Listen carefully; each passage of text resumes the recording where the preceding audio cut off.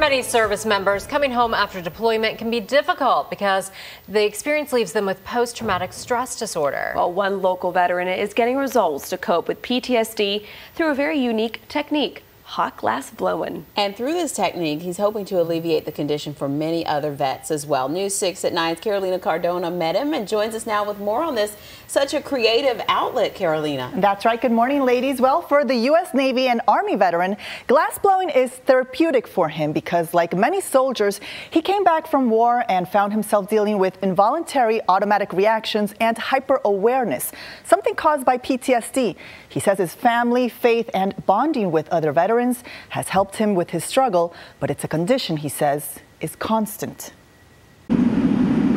Mark Van Osdel is on a mission. I've found that if you concentrate more on helping others, that you kind of heal yourself. After being discharged from the Navy Reserve for health reasons, Mark felt the need to help in the war against terror, so he enlisted in the Army in 2005 and was deployed to Iraq for 14 months. Nine years ago, he left the military, an experience that left him fighting a different kind of battle PTSD. Two years ago, while living in Iowa, his counselor at the local Veterans Center invited him to participate in the first hot glass blowing class for veterans as a way to cope with the condition. You just pretty much forget about your PTSD, your worries of the day. You just go out there, you're trying to make something beautiful. Today, he creates colorful sculptures like flowers, bowls, and pumpkins in a space he sets up on his driveway outside his home. I don't think you ever really get healed, uh, but you get a lot better. Last year, he founded the nonprofit organization Operation Hot Glass Heroes with hopes of offering classes to help other veterans cope with their PTSD. But he says his current shop under a tent at home isn't the ideal studio he has envisioned. His dream is to eventually have a bigger space. Mainly so that the veterans can come back and have a place for us to all get together, hang out, blow glass. It's just really hard with what I have. I'm definitely looking for donations to someday have my own shop so that it's a lot easier for us to do this. And well, the cost for the bags of glass that he uses starts at $40.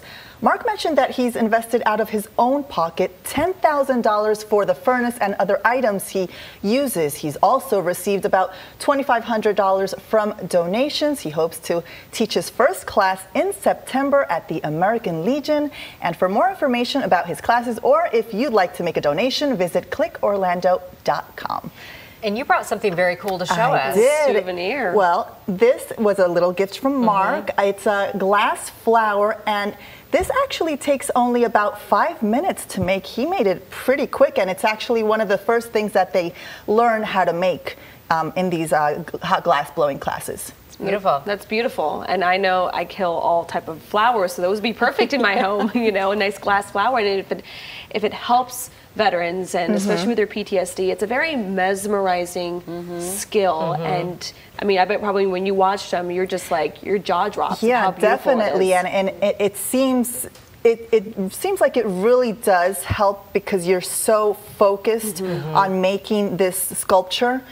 So it's it's definitely something that's worked for him and many others too. Yeah, surely as more moment. awareness is built up mm-hmm. around what he's doing, more people will get behind it as this community hears about what he's trying that's to do. That's right. Let's hope so. Yeah.